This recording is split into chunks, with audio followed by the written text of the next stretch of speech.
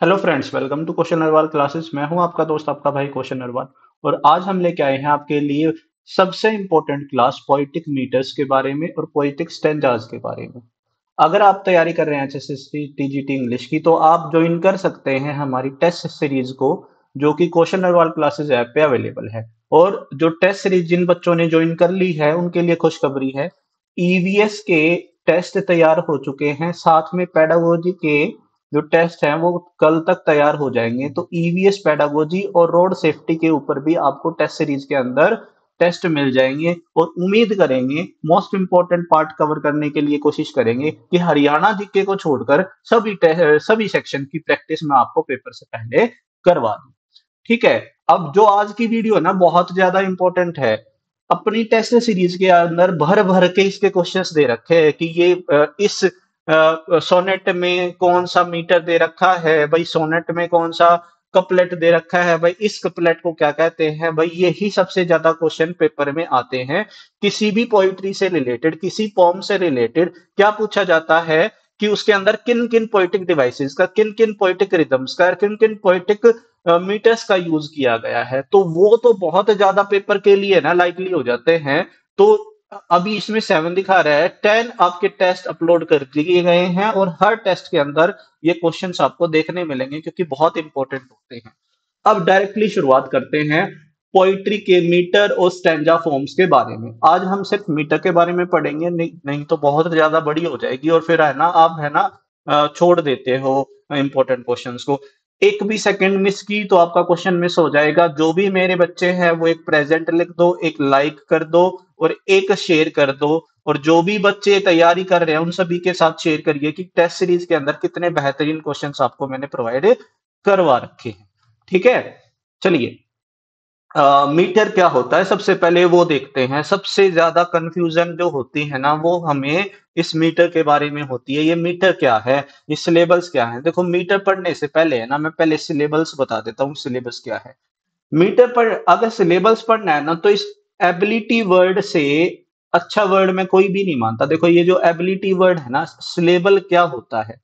Syllable होता है हमारा sound sound unit sound unit sound unit, ठीक है? सिलेबल होता है मिनिमम साउंड यूनिट, यानी कि स्मॉलेस्ट साउंड यूनिट, जो सबसे छोटी साउंड यूनिट होती है किसी एक वर्ड के अंदर, उसको हम क्या बोलते हैं? सिलेबल बोलते हैं।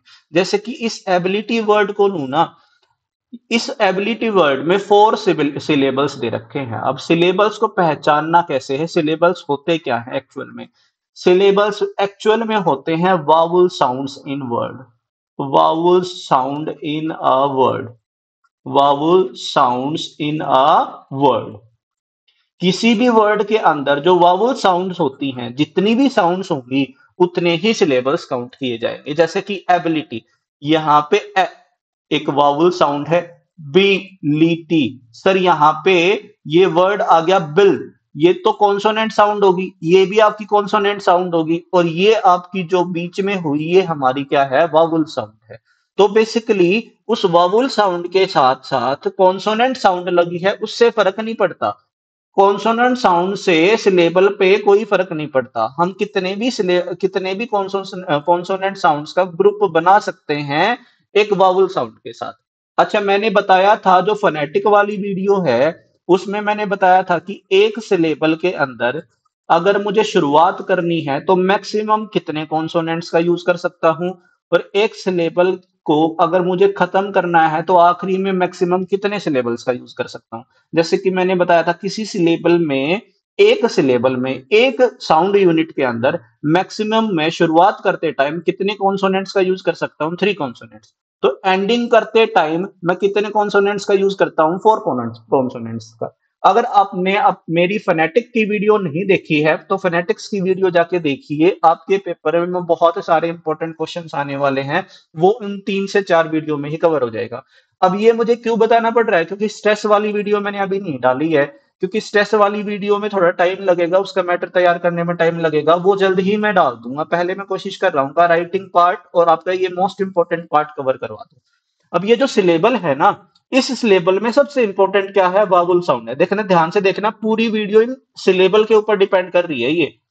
अब यहाँ पे ये जो साउंड है, ये एक सिलेबल माना जाएगा। कॉन्सोनेंट हो या ना हो, उससे फ़र्क नहीं पड़ता। ठीक है? इसको श्वा साउंड बोलते हैं। बिल, देखो यहाँ पे दो कॉन्सोनेंट ले लिए, फिर भी लेकिन साउंड जो प्रेफर कर रही है ना, वो हमारी कौन सी साउंड प्रेफर कर रही है? वावुल साउंड अब यहाँ पे आ गया इट इट इट तो यहाँ पे जो साउंड है, यहाँ पे देखो इसके साथ कॉन्सोनेंट लगा है, लेकिन यहाँ पे क्या मैटर कर रहा है? आई की साउंड मैटर कर रही है। ई जो साउंड है, वो मैटर कर रही है। तो ये हमारा एक अलग से लेबल हो गया। और ये जो वाई है, ये सेमी वाउल कहलाता है। तो यहाँ पे जो वाई है ये किसकी साउंड दे रहा है? की। अ, बी। अ, बिल। ई की तो यहाँ पे चार हमारे साउंड यूनिट्स आए। चार अलग अलग साउंड यूनिट्स आने के कारण यहाँ पे चार सिलेबल्स हो गए। तो सिलेबल मेरे ख्याल में आपको समझ में आ गया होगा कि जो वावल साउंड की यूनिट होती है मिनिमम जो स्मॉलेस्ट वाउल साउंड की जो यूनिट होती है, उसको हम क्या बोलते हैं? सिलेबल बोलते हैं। और सिलेबल के अंदर कॉन्सोनेंट कितने भी हो सकते हैं एक वावल साउंड के साथ। लेकिन शुरुआत जब सिलेबल की करेंगे तो मैक्सिमम थ्री कॉन्सोनेंट्स हो सकते हैं और एंडिंग करेंगे तो मैक्सिमम फोर कॉन्सोनेंट्स एक साथ लगाए जा सकते हैं। ठीक है? अब ये मीटर पे आते हैं। अब मीटर क्या होता है? मीटर बेसिकली क्या होता है? रेगुलर पैटर्न होता है। किसका? स्ट्रेस और अनस्ट्रेस सिलेबल का। सिलेबल क्या बताया? A unit of vowel sound ठीक है? यानी कि स्ट्रेस और अनस्ट्रेस सिलेबल अगर आते हैं और उनका पैटर्न कोई बनाया जाता है कि पहले स्ट्रेस वाला आ गया, बाद में अनस्ट्रेस वाला आ गया, वो क्या होता है हमारा? उस पैटर्न को, उस पेयर को हम क्या बोलते हैं? मीटर बोलते हैं। ठीक है? क्योंकि, क्यों लगाया जाता है? क्योंकि वो रिदम डिसाइड करता है किसकी पोइट्री की। देखो अगर मॉडर्न एज से पहले की पोइट्रीज आप जितनी भी देखेंगे ना, सब में मीट्रिक फॉर्म्स का यूज़ हुआ है, सब एक डेफिनेट मीटर्स में लिखी गई हैं। सिर्फ़ पोइट्री की बात नहीं कर रहा, जैसे कि है ना जूलियस जूलियस सीजर जो आपका प्ले है ना, वो आयम्बिक पेंटामीटर में लिखा गया है। बहुत ज़्यादा इंपॉर्टेंट होता है मीट्रिक फॉर्म ज़रूरी नहीं है, सिर्फ़ हमारा ये पोयम में यूज़ हो। ये हमारा प्लेज में भी यूज़ हुआ है ड्रामाज में भी यूज़ हुआ है। तो होता क्या है ये? सिर्फ़ क्या होता है स्ट्रेस जो वाबुल होते हैं या स्ट्रेस जो आपका सिलेबल्स होते हैं और उनके साथ पैटर्न बनाया जाता है अनस्ट्रेस सिलेबल के साथ। यानी कि स्ट्रेस और अनस्ट्रेस सिलेबल्स को जब हम पैटर्न में यूज़ करते हैं तो उसको हम मीटर बोलते हैं। ठीक है? बेसिकली क्या करते हैं, ये पैटर्न फॉलो करते हैं स्ट्रोंगर और वीकर स्ट्रेस का। यानी कि जब हम किसी वर्ड को प्रोनाउंस करते हैं, जब वर्ड हम किसी वर्ड को बोलकर देखते हैं ठीक है? जब उसको प्रोनाउंस करते हैं तो कई बार हमें वर्ड के अंदर स्ट्रेस देना होता है और कई बार स्ट्रेस नहीं देना होता है। तो स्ट्रेस और अनस्ट्रेस के पेयर को ही हम क्या बोलते हैं? मीटर बोलते हैं। ठीक है? The stronger sound is stressed syllable and weaker ones is unstress syllable अच्छा इस स्ट्रेस और अनस्ट्रेस को समझते हैं।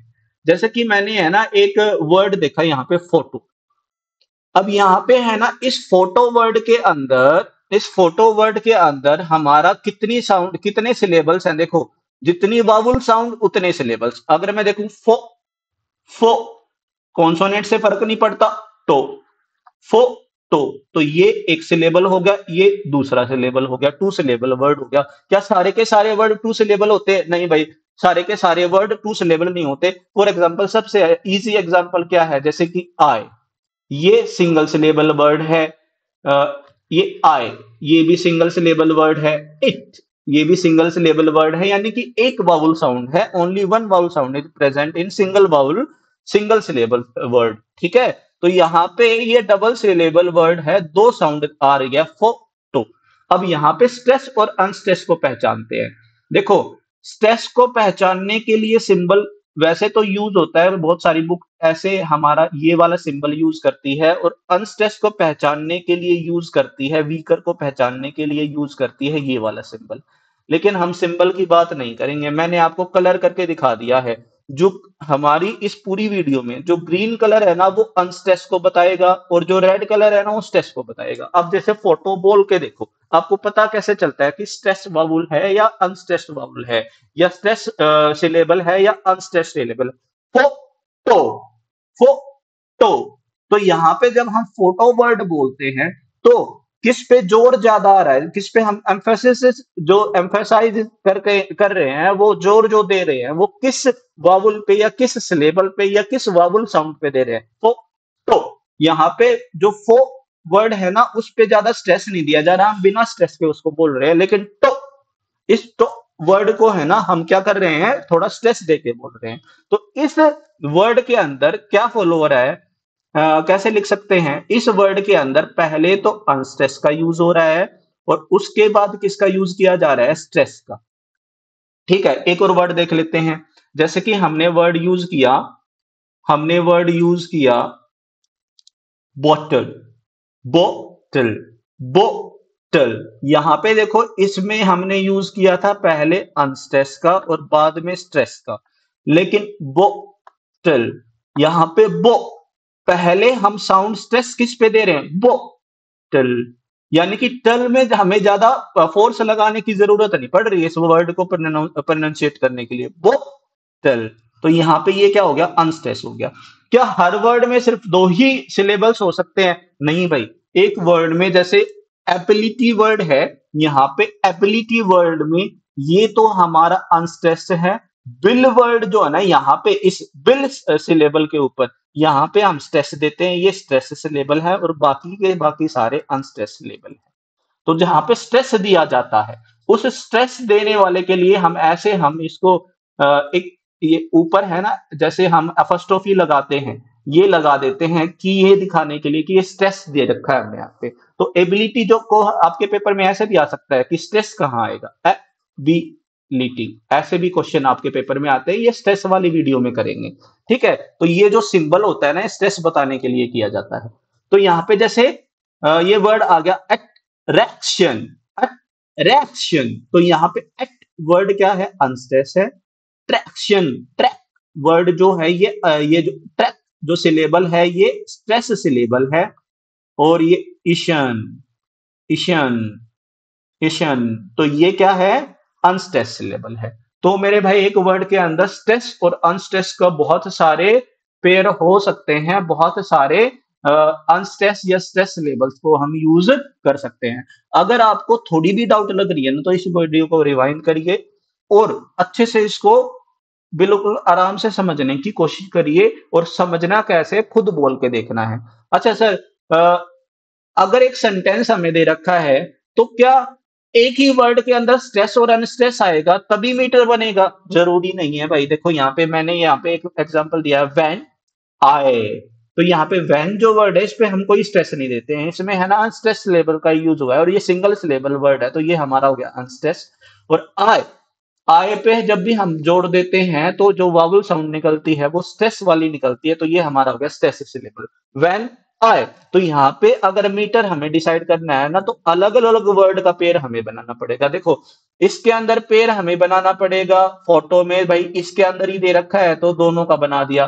बॉटल में भी दे रखा है, दोनों का बना दिया. अट्रैक्शन में अट्रैक्शन में दो लगा दिया, ये अलग यूज़ होगा, अगले वर्ड के साथ लगेगा। अब वैन और आए दोनों अलग अलग सिंगल सिलेबल वर्ड्स हैं तो यहाँ पे इन दोनों का ही पेड़ बना देंगे। अब पेड़ क्यों बना रहा हूँ? क्योंकि अगला काम हम वही करने वाले हैं फुट फुट क्या होता है?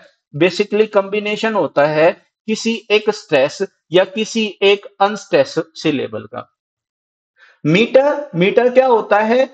रिपीटिशन uh, होता है। कैसे हम रिपीट कर दिए? पहले स्ट्रेस लगा दिया फिर अनस्ट्रेस फिर स्ट्रेस लगा दिया फिर अनस्ट्रेस फिर स्ट्रेस लगा दिया फिर अनस्ट्रेस लेकिन फुट क्या होता है? जब स्ट्रेस या अनस्ट्रेस दोनों को मिलाकर उनका पेड़ बना दे। जैसे कि मैंने अभी अभी पेड़ बनाया ना वैन का और आय का। यहाँ पे वैन और आय का पेड़ बना दिया। तो ये पेड़ जो कहलाएगा ये कहलाएगा फुट ये क्या कहलाएगा? फुट बात समझ में आई? और इसी से डिसाइड होता है हमारा मीटर कि कितने पेयर्स आए हैं उस एक सेंटेंस के अंदर। बात समझ में आई? और कैसे लगा है? आपका पहले स्ट्रेस लगा है, फिर अनस्ट्रेस लगा है। इससे आपका डिसाइड होता है आपका मीटर और कितने पेयर लगे हैं। देखो, अभी समझाता हूँ। मीटर, जैसे कि यहाँ पे आईएमबिक का यूज़ करते हैं। आईएमबी का यूज़ करते हैं। आईएमबी को समझ जाएँगे ना तो सारी चीज़ें समझ जाएँगे धीरे धीरे देखो आईएमबी का आपने वर्ड बहुत बार सुना होगा। आईएमबी में क्या होता है? एक आईएमबिक के अंदर मीटर आयम्बिक एक ऐसा, देखो, मीटर क्या होगा? पैटर्न। मीटर क्या होगा? पैटर्न। और मीटर के बाद लगाया जाता है फुट। मीटर बताता है कि स्ट्रेस और अनस्ट्रेस लेवल को कैसे अरेंज किया गया है। और फुट बताता है कि उसके कितने पेयर है नंबर ऑफ़ पेयर्स ठीक है, अभी एग्ज़ाम्पल से समझाऊँगा, अब घबराओ मत। मीटर क्या बताता है कि कैसे उनको अरेंज किया गया है? जैसे आयम्बिक की बात करूँ तो अनस्ट्रेस सिलेबल के बाद जब हम स्ट्रेस सिलेबल लगाते हैं, एक एक हमारी पोइट्री या वर्क के अंदर, एक सेंटेंस के अंदर तो उसको बोला जाता है आयम्बिक मीटर क्या बोला जाता है? आयम्बिक मीटर सिर्फ़ मैंने अभी तक ना तो मोनोमीटर बोला, ना डायमीटर बोला, ना ट्राईमीटर बोला, ना पेंटामीटर बोला, ना टेट्रामीटर बोला, कुछ नहीं बोला है। मैंने बोला है कि अगर हम अपनी सेंटेंस के अंदर पहले स्ट्रेस, अनस्ट्रेस सिलेबल लगाए और उसके बाद स्ट्रेस सिलेबल लगाए तो इस पैटर्न को बोला जाता है आयम्बिक मीटर। ठीक है, एक एग्जांपल से देखते हैं। यहाँ पे मैंने देखो that's my last duchess painted on the wall यहाँ पे क्या है? ग्रीन कलर में क्या है? अनस्ट्रेस है. और रेड कलर में क्या है? स्ट्रेस है. देखो, पहला पेड़ हो गया हमारा, पहला फुट हो गया हमारा, पहला फुट हो गया ये हमारा, पहला फुट ठीक है? पहला फुट क्या हो गया? पेड़ हो गया. किसका? अनस्ट्रेस का और स्ट्रेस का. फिर आगे देखते हैं. फिर से अनस्ट्रेस आ गया, फिर स्ट्रेस आ गया. एक और फुट हो गया हमारे, एक और फुट हो गया. इसके बाद फिर से हमारा अनस्ट्रेस आ गया, फिर स्ट्रेस आ गया, फिर से एक और फुट हो गया, फिर इसी तरह हमारा पैटर्न चलता गया। इस सेंटेंस के अंदर पहले अनस्ट्रेस बाबुल लगा है, या सिलेबल लगा है, और उसके बाद स्ट्रेस सिलेबल लगा है, फिर से अनस्ट्रेस आ गया स्ट्रेस आ गया। ज़रूरी नहीं है कि एक वर्ड का ही पेयर होना चाहिए। अब देखो, इसमें अनस्ट्रेस डेट्स में दे रखा है स्ट्रेस माई में दे रखा है अनस्ट्रेस लास्ट में दे रखा है डचेस एक वर्ड है जिसके अंदर पहला जो है स्ट्रेस वाबुल होता है या स्ट्रेस सिलेबल होता है और बाद वाला अनस्ट्रेस होता है। तो यहाँ पे डच का पेयर किसके साथ बना है? लास्ट के साथ और एस का पेयर किसके साथ बना है? पेंटेड के साथ। बात समझ में आई? तो यहाँ पे पहले अनस्ट्रेस सिलेबल का यूज़ होगा, बाद में स्ट्रेस सिलेबल का यूज़ होगा। अब ये मैं किसके बारे में बता रहा हूँ? अब देखो यहाँ पे कितना, एक फुट हुआ दो फुट हुआ, तीन फुट हो गया, चार हो गया, पाँच हो गया। अब यहाँ पे इसके अंदर पैटर्न कौन सा यूज़ किया गया है? बिग और कितने पेयर हो गए फाइव फाइव के लिए इंग्लिश में कितना यूज़ होता है? पेंट पेंट है तो ये क्या है? क्या क्या फॉलो कर रहे हैं मीटर तो क्या लगा दिया? पेंटामीटर इस तरीके से हम डिसाइड करते हैं कि पोयम किस चीज़ में लिखी गई है। आईएमबिक यानी कि पहले अनस्टेस्ट सिलेबल का यूज़ किया, बाद में सिलेबल का और उस लाइन के अंदर कितने फिट यूज़ हुए हैं। फुट यानी कि pair of metre pair of pattern कितने पेयर यूज़ हुए हैं, वो डिसाइड करता। उतने नंबर्स ऑफ़ फिट अगर आ गए तो वो डिसाइड करता है कि कितना मीटर होगा। आईएमबिक यानी कि पहले अनस्टेस लगा, फिर स्टेस लगा। पेंटामीटर यानी कि कितने पेयर है? फाइव पेयर है। और ये बहुत ही famous my duchess by Robert Browning की पहली लाइन है और ये एक ड्रामेटिक मोनोलॉग है। बहुत ज़्यादा इंपॉर्टेंट है मेरे भाई। एक और एग्जांपल देख लो। अभी मैं ना इसको फिर से मिटा देता हूँ, इसको हटा देता हूँ ताकि आपको अच्छे से समझ में आए। यहाँ पे हमने देखो वैन आई कंसीडर्ड यहाँ पे देखो थ्री सिलेबल वर्ड था तो पहला वर्ड जो, पहला जो सिलेबल था वो अनस्टेस था, फिर दूसरा स्टेस था, फिर कंसीडर ड में जो है हमारा अनस्टेस था। तो एक ही वर्ड से तीन सिलेबल है, लेकिन पेयर अलग अलग पार्ट में बना रहे। इसका पेयर हो गया, इसका पेयर हो गया, फिर ये पेयर हो गया, और फिर ये पेयर हो गया। कितने पेयर हो गए? One two three four five यानी कि पहले अनस्ट्रेस लगा है, फिर स्ट्रेस लगा है, यानी कि पहले अनस्ट्रेस लगा है तो आईएमबिक है, और पाँच पेयर है तो पेंटामीटर है तो किसका यूज़ किया गया? आईएमबिक पेंटामीटर और ये भी बहुत फ़ेमस अब मुझे नहीं लग रहा होगा कि अगर आप मुझे नहीं लग रहा होगा कि आपको इसमें आज के बाद कोई दिक्कत आएगी। ऑन हिज ब्लाइंडनेस माय जो बाय जॉन मिल्टन बहुत ही फ़ेमस वर्क है आईएमबिक पेंटामीटर में लिखी गई है। अगला देखते हैं।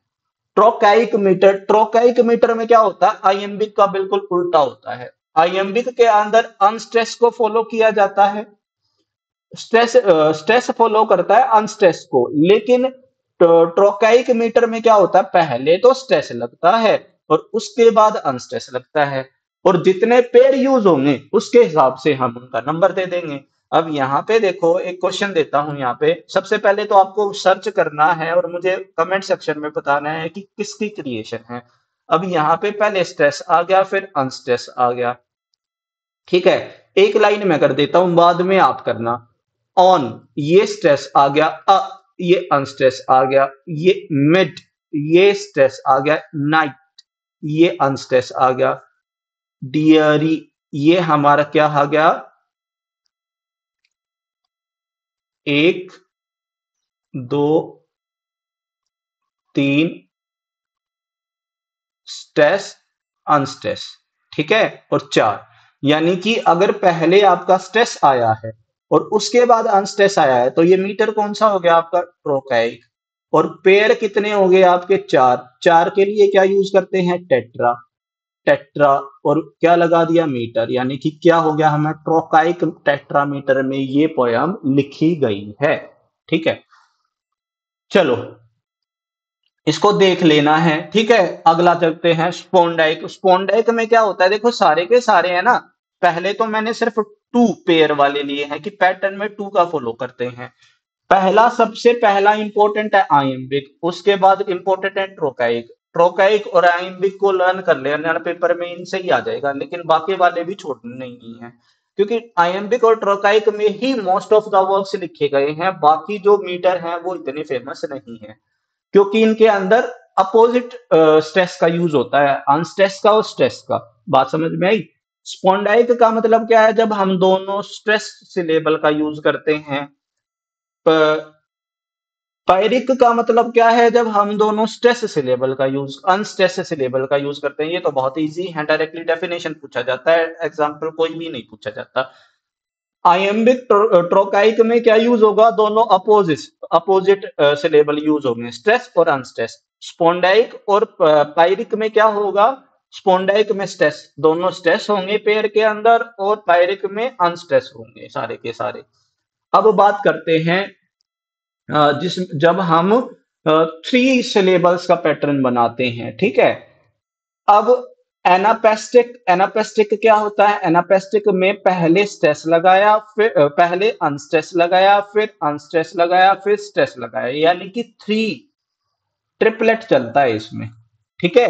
यानी कि थ्री सिलेबल का पैटर्न बनता है। उसमें क्या था? दो सिलेबल का पैटर्न था बाई सिलेबल का पैटर्न था। इसमें ट्राई सिलेबल का पैटर्न है।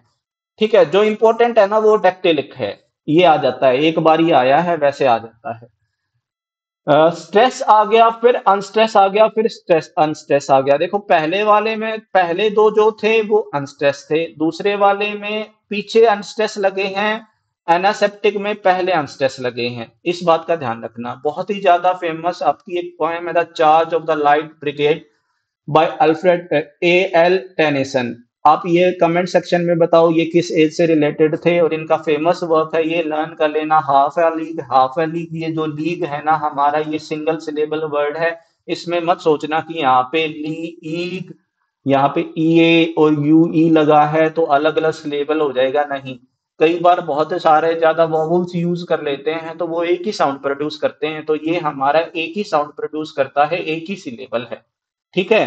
तो हाफ़ जो है हमारा स्ट्रेस सिलेबल है, उसके बाद आपके दो अनस्ट्रेस सिलेबल ले लिए, फिर से स्ट्रेस सिलेबल आ गया, दो अनस्ट्रेस सिलेबल ले लिए तो ये हमारा फिट का यूज़ हो गया टू फिट का, यानी कि डाई डायमीटर है डायमेट्रिक है, कौन सा डायमेट्रिक है? टेक्टेलिक डायमेट्रिक हो गया हमारा। एम्फी एम्फीब्राइक एम्फीब्राइक में क्या होता है? दो अनस्ट्रेस्ड सिलेबल अनस्ट्रेस्ड के अंदर, बीच में एक स्ट्रेस्ड सिलेबल ले लेते हैं। ठीक है? तो डायरेक्टली आपको डेफिनेशन लर्न करनी है। डेफिनेशन कैसे लर्न करनी है? डायरेक्टली आपको देखना है कि किस मीटर के अंदर कौन सा पैटर्न यूज़ किया जाता है। सबसे इंपॉर्टेंट कौन सा है? ट्रोकाइक और आयम्बिक वो तो कर लोगे, बहुत इजी है। ये तो मैंने पहले ही बता दिया मीट्रिक लाइन क्या होती है? कितने नंबर ऑफ़ फीट्स का हम यूज़ करते हैं? कितने नंबर ऑफ़ फीट्स का यूज़ करते हैं? अगर एक फीट एक फुट का यूज़ किया मोनोमीटर यानी कि सिर्फ़ एक पेयर है। स्ट्रेस और अनस्ट्रेस का एक पेयर है। दो पेयर है डायमीटर तीन पेयर है, ट्राईमीटर चार पेयर है, टेट्रामीटर। देखो, टेट्रा ये है ना, रूट वर्ड से लर्न कर लो। मोनो यानी कि एक, डाई यानी कि दो, ट्राई यानी कि तीन, टेट्रा यानी कि चार, पेंटा यानी कि पाँच, हेक्सा यानी कि हेप्टा यानी कि सात, ऑक्टा यानी कि आठ। और फीट क्या होता है? फीट यानी कि पैटर्न ये मैंने बता दिया। यानी आयम्स का यूज़ हुआ है, यानी कि पहले तो अनस्ट्रेस का यूज़ होगा और फिर स्ट्रेस का। इस, इन दो का पेयर बनेगा। कितने पेयर बने? पाँच पेयर बने। पाँच पेयर बने तो क्या हो गया? आयम्बिक पेंटामीटर अगर कोई ऐसा फीट है, जिसके अंदर डेक्टेल्स का यूज़ किया गया है, यानी कि थ्री थ्री का अब हम क्या बनाएँगे? ग्रुप बनाएँगे। और छह लाइन है। तो डेक्टेलिक हेक्सामीटर हमारा वहाँ पे यूज़ हो गया। ठीक है? छह हमारे दे रखे हैं तो डेक्टिलिक हेक्सामीटर का यूज़ हो गया। अब आ जाते हैं रिदम के ऊपर। मेरे भाई रिदम भी बहुत इंपॉर्टेंट है। देखो रिदम तीन तरह की है। एक तो फॉर्मल रिदम हो गई। एक तो फॉर्मल हो गई। फॉर्मल होगी। उसके बाद आपका होगी ब्लैंक ब्लैंक फॉर्मल वर्स हो गया एक तो। एक ब्लैंक वर्स हो गया, ठीक है, और एक फ्री वर्स हो गया। तीनों पे क्वेश्चन आते हैं पेपर में। ठीक है स्पेलिंग देख लेना भाई, कोई जल्दी जल्दी, मैं गलत लिख दू तो।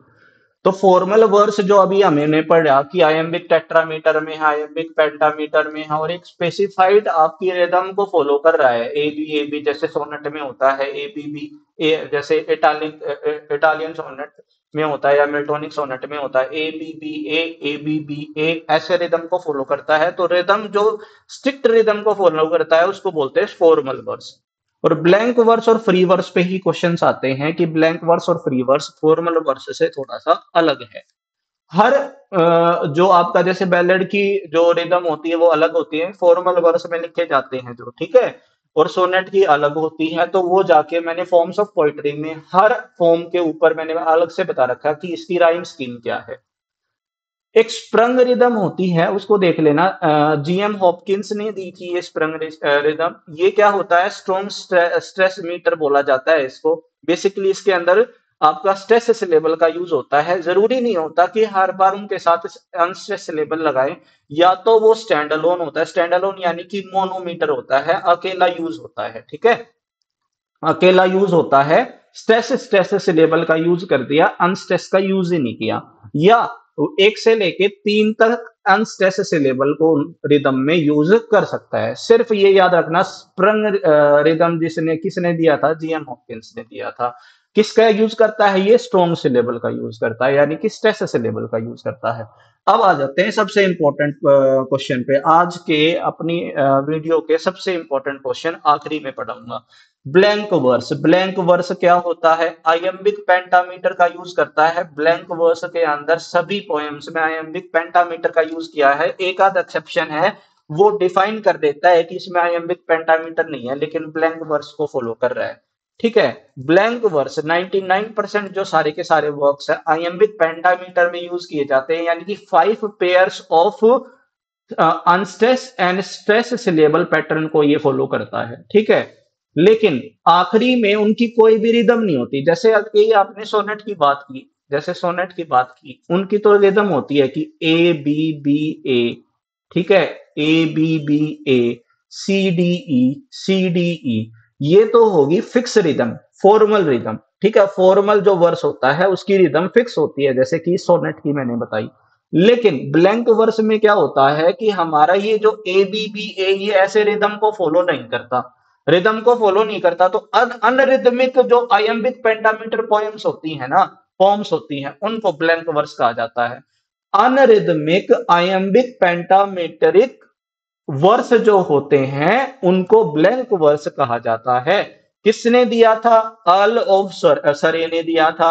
अल ऑफ़ सरे ने एक चीज़ और दी थी एक चीज़ और दी थी। जल्दी से कमेंट करके बता दो मैं पढ़ा चुका हूँ क्या दिया था?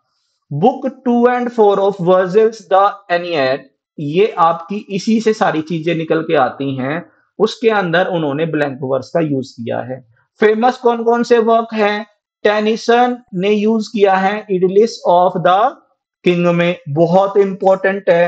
वर्ड्सवर्थ ने यूज़ किया है प्रीलूड में। बहुत इंपॉर्टेंट है। मिल्टन ने यूज़ किया है पैराडाइज लॉस्ट ने तीन वर्क बता दिए ब्लैंक वर्स के वर्ष के और यही आ जाएँगे। Very very very very very important तीन ही बताए हैं, इससे ज़्यादा नहीं बताएँगे और ये ही तीनों पेपर में आ जाएँगे। आप यूपीटीजी उठा लो यूपीटीजीटी उठा लो। आप उठा लो, क्या कहते हैं उसको? ये आरपीएससी उठा लो, आप हरियाणा के पुराने पेपर उठा लो एस्टेट के पेपर उठा लो, मेरे भाई दिल्ली की ट्रिपल एस बी के पीजीटी टीजीटी पेपर उठा लो, घूम फिर के ही नहीं, तीनों को रिवाइज ऊपर नीचे करते रहते हैं। इस साल ये आया है तो अगले साल वो आएगा। ब्लैंक वर्ष के सबसे बेहतरीन एग्ज़ाम्पल है ये तीन। और एक ही लर्न करना है तो मिल्टन का पैराडाइज लॉस्ट कर लो। फ्री वर्स क्या है? फ्री वर्स है हमारा मेरे भाई ओपन फॉर्म मॉडर्निस्ट जो पॉइंट हुए हैं मॉडर्निस्ट यानी कि मॉडर्न एज के बाद। मॉडर्न एज का आप किसे कब तक था? जल्दी से कमेंट करके बता दो मुझे। ठीक है ठीक है। तो फ्री वर्स को लिब्रे लिब्रे भी बोला जाता है, ठीक है।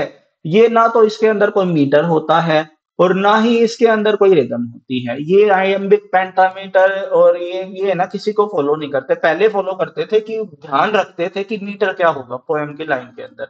ठीक है? लेकिन ये जो नए मॉडर्निस्ट पॉइंट है ना, ये किसी भी, इनको फ़र्क नहीं पड़ता। ये सिर्फ़ अपनी क्रिएशन करते हैं, ना तो किसी मीटर को फॉलो करते हैं, ना ही किसी रिदम को फॉलो करते हैं। जो किसी भी चीज़ को फॉलो ना करे ना, वो फ्री ऑफ़ एनीथिंग होता है। जो किसी भी रिलीजन को, किसी भी किसी भी रिश्ते को फॉलो नहीं करता, ना उसको फ्री कर देते, जा भाई, तू खा और कमा, हम नहीं देखेंगे तुझे। उसी तरह ये फ्री वर्स है, इसमें हम है ना नहीं देखते ना तो किसी मीटर को, ना किसी रिदम को।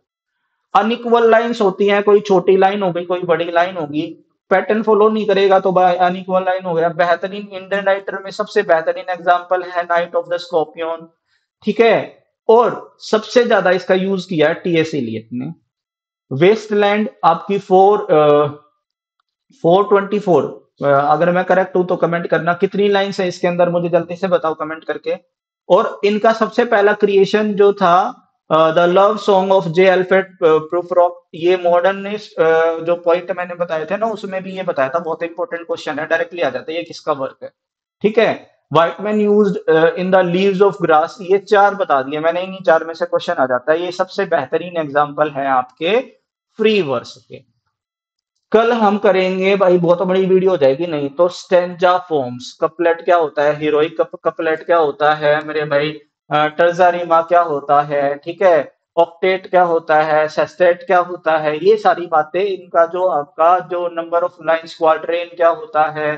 किस पोएम में कितनी लाइंस यूज़ होती हैं? क्या पैटर्न होती है? क्या रिदम फॉलो करते हैं? ये अगली वीडियो में करेंगे। मेरे ख्याल में अगर यहाँ तक आए होने, आपने हर एक वर्ड हर एक सेकंड देखा है और वो बहुत ही अच्छे बच्चे हैं और उनका सिलेक्शन पक्का होने वाला है और पक्का होने वाला है तो मेरे भाई सिर्फ़ इसको पढ़ के मत रह जाना, इसका टेस्ट ज़रूर देना है। टेस्ट मैं नहीं कह रहा कि मेरी ही टेस्ट सीरीज़ दो, कहीं से भी दो, लेकिन टेस्ट दो टेस्ट ही आपको पार करवाएँगे, आपकी नैया पार लगाएँगे। दो बच्चे होते हैं एक रमेश और एक सुरेश। रमेश ज़्यादा नहीं पढ़ता, लेकिन सिर्फ़ टेस्ट देता है। सिर्फ़ टेस्ट देने से भी उसके नंबर आ जाते हैं सेवेंटी कट ऑफ़ लगती है सिक्सटी वन पे। उसके बाद अगर सुरेश है, वो सिर्फ़ पढ़ता रहता है, उसके नंबर आते हैं फिफ्टी नाइन कट ऑफ़ लगती है सिक्सटी वन पे। क्योंकि वो पेपर में, सुरेश पेपर में जाके कंफ्यूज हो जाता है कंफ्यूज हो जाके वो दो आंसर में उलझ जाता है, उसको याद ही नहीं रहता। आईएमबिक में स्ट्रेस पहले आएगा या बाद में आएगा? यही कंफ्यूजन होती है। देखो आईएमबिक और टोर में क्या डिफरेंस है? स्ट्रेस पहले आएगा टोरकाइक में स्ट्रेस बाद में आएगा एमबी में अब ये कितना भी कंफ्यूज हो लो सोच सोच के इसको, जब तक क्वेश्चन नहीं करोगे, दस क्वेश्चन नहीं करोगे एमबी के और टोरकाइक पे, जब तक आपको याद नहीं रहेगा, इसलिए कहता हूँ टेस्ट दो टेस्ट देना है, कहाँ मिलेंगे? आपके क्वेश्चन हर क्लासेस पे जाके टेस्ट देना शुरू करो डेली दो, खाते, बैठते, उठते, सोते टेस्ट ही याद रहने चाहिए। आज के लिए इतना ही have and take care bye जय हिंद, जय भारत।